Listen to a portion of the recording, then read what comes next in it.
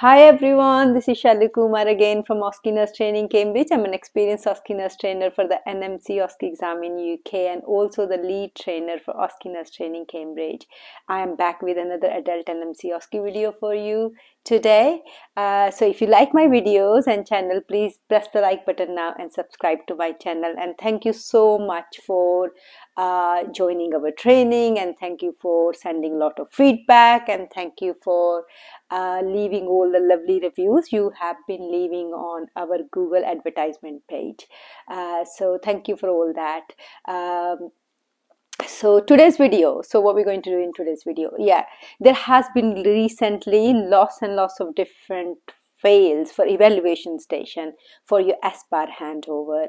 Uh, so I am going to do a common fails video on that one today so you can use this as your quick revision before your exam. Okay, so it's kind of a quick revision guide obviously to just not to make those mistakes. So I'm going to talk through what have been the common mistakes in last six to eight months in SBAR handover and how you can rectify those mistakes. So I will give you uh, the common fail but i will also give you uh, a way uh, a solution for it so or a tip for it so that you don't end up making that mistake. So let's look at the top five common fails for evaluation station which is your SBAR handover using situation background assessment and recommendation method for handing over your patient to another clinician whether a doctor or a nurse okay? Uh, so you all uh, so let's get started. So you already know your SBAR handover which is evaluation station of the API part of the exam. Is a 8 minute station. Is a verbal station. You have to verbally hand over your patient to the next nurse or the doctor using all the paperwork from the previous stations okay? So you will have all the paperwork back with you and need to verbally hand over your patient. Now you're allowed to make some notes if you wish to do so. Not mandatory but if you wish to do so you are allowed to make some notes. But then you need to be careful. Everything has to be completed whether you make notes or not but everything has to be completed in 8 minutes. There is no extra time for making notes. So that's SBAR handover just a quick review. So let's get straight into the common fails. Okay the first first one uh, failure to verbalize allergy status and reaction so that has been the most common fail absolutely number one uh, in the last few months. Uh, it's easy to forget, uh, but you just need to make sure that you don't forget it because it's part of your. It doesn't clearly say in the marking criteria, but when you talk about its marking criteria, clearly says that you need to say relevant medications. And when you're talking about medication or patient history or background, then it's obvious that you need to take, talk about their allergy status and reaction, okay? Because it's a patient safety issue. So that has been because uh, marking criteria doesn't prompt you. I think uh, lots of nurses are forgetting this one. So make sure you don't forget because that has been the most top common fail for this station. So where do you find this information? In lots of paperwork, you can find on admission form, you can find on MAR chart. But my tip will be read it from MAR chart from page number two. So it's on page number two, read it from there clearly. Um, so you need to do that as part of the relevant medication under background part of the handover. So when you look at the marking criteria, it's under the background part and it asks you to say medication, relevant medication. It means you need to read the medications from our chart. It means start from the page two and read. First thing you read is the patient allergy and reaction okay sometimes you say allergy but don't say reaction. That would be a critical fail as well. So you need to say both. Allergy status and reaction very very very clearly okay? Number two now. So again this has been uh, been again a very very common fail uh, to verbalize medication risk factor from MAR chart um, again this is not something which will you would automatically think especially if your patient has not got any medication risk factors uh, so that's why it has been a lot of fails on this. Uh, so uh, what i'm talking about is about the page 2 of the MAR chart. as you can see on the screen here i have highlighted that section the medication risk factor so when you uh, talk about patient medication uh, relevant medication part of the handover and the background section. You need to obviously i told you need to say the allergy and the reaction. And then the next thing you should say straight away is from the page number two stay on it and just say look at the medication risk factors and say if there is any medication risk factor ticked. Like on this example there is the patient is diabetic.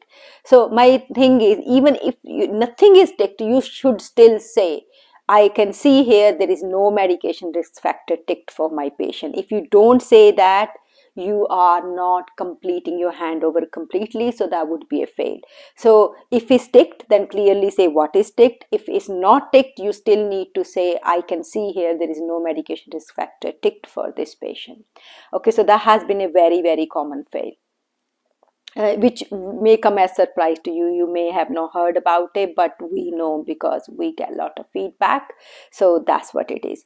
Number three failure to verbalize social history. Now that has been again a very common fail in this station uh, social history. So this is the background part of your handover where you say the social history. So you top tip is read it from your um, overview of patient history form. As you can see I've highlighted on your on your screen. So is uh, overview of recent history form that tells you about patient social history which you read there in admission station assessment station sorry.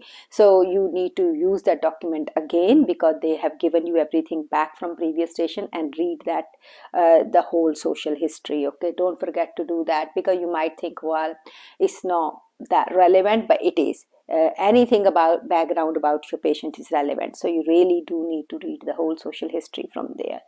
Uh, number four failure to verbalize diagnosis for uh, for admission. So why were what was the diagnosis at admission for your patient? Now you might think well that's obvious one but it isn't because sometimes what happens is in the background you say okay my patient was admitted with shortness of breath but you forget to say what was the diagnosis? Because there are lots of shortness of breath scenarios in your exam.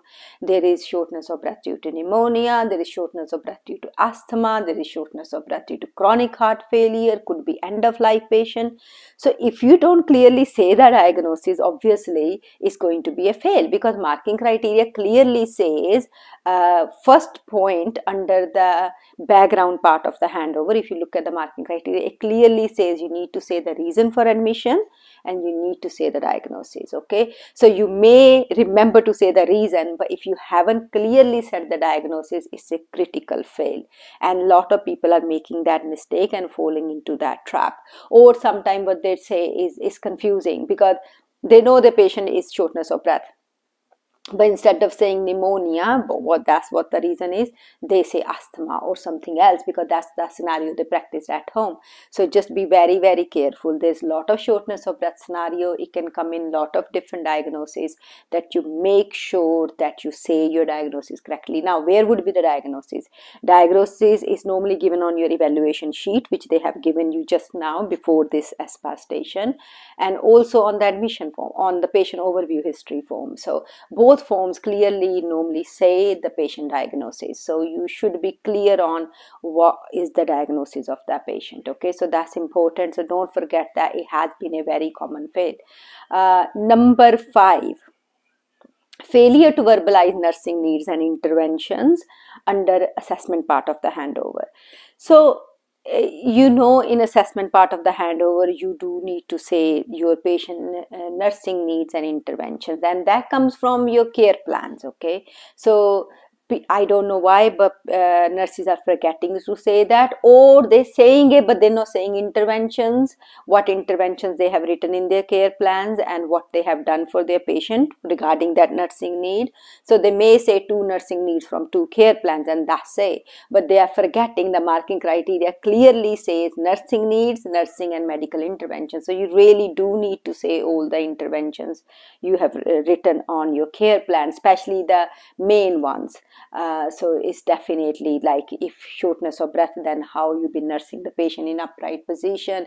Have you made any referral to a chest physio or anything like that? So they're all relevant interventions. So you should actually include that. And um, nurses have not been completely handing over their care plan, summary of the care plan. That's why. Uh, so you don't need to say aim of the care or evaluation section. No. Just the main nursing need and then the uh, the intervention where you write your nursing interventions. I would highly recommend that before starting the SBAR handover you make a little summary notes from your care plans because you don't need to say any everything but you need to say main interventions and the nursing need. So you make a little summary plan before you start handing over. That would really help you in that.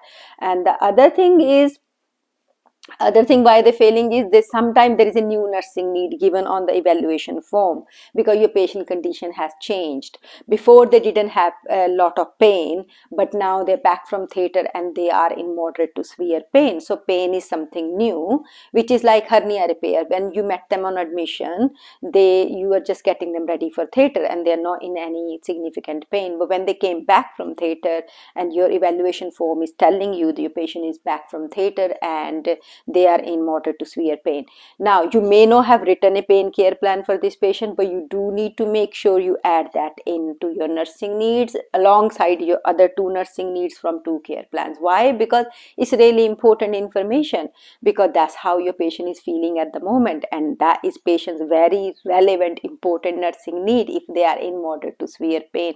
I know it wasn't before, but it is now and so you may have not written a care plan but you should, you need to add that extra. So that's just one example. It could happen in a lot of different scenarios where a new nursing need may come up in the evaluation section. So when you're reading that evaluation section uh, before starting your handover they let you read the form make sure you're reading it and taking it in that and making sure that there is no nothing new has come up with your patient new nursing need.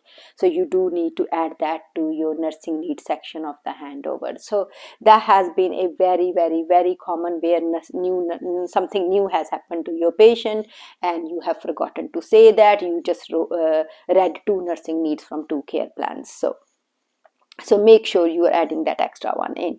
So uh, that's what I wanted to talk about today. So I hope these five common fails, which I've been telling you, and uh, that's been happening a lot in test centers in from last six to eight months. So hopefully now I pointed out to you so you will not make these mistakes and I've given you the tips where to go and find that information and add it to your verbalization. Okay. So I hope this video is going to help you to do this uh, um, station safely now and not make those mistakes. So if you like this video, don't forget to press the like button now and subscribe to my channel. Keep those uh, feedback coming. It's really good. You can visit us on oscenursetraining.com and also email us on oscenursetraining at uh, outlook.com for further information about our online and face-to-face training uh, and check out those google reviews i will soon be back with another video for you bye for now